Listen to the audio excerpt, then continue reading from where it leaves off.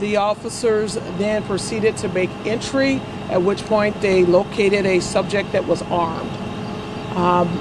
The uh, officers on scene did discharge. We had one officer that discharged their firearm.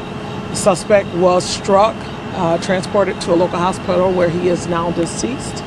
We have followed our protocol. The integrity task force has been called in, and we are no longer involved in the investigation. So anything that's acquired from this point on will come from the Winnebago Boone County Integrity Task Force. Okay. Thank you so much.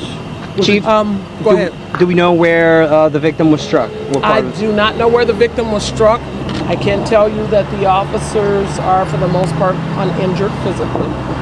So um, that's about all I have. How many officers discharged their firearms? Um, there's one that I know of right now, but that's part of the investigation.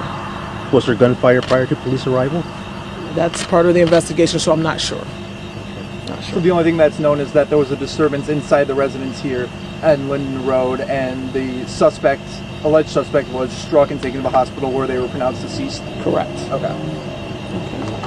Have you been called out here before for domestic calls? I don't have the history for you, Chris. Sorry. Okay. Okay. All right. Thank you, guys. Have a good night. Thank you, Chief.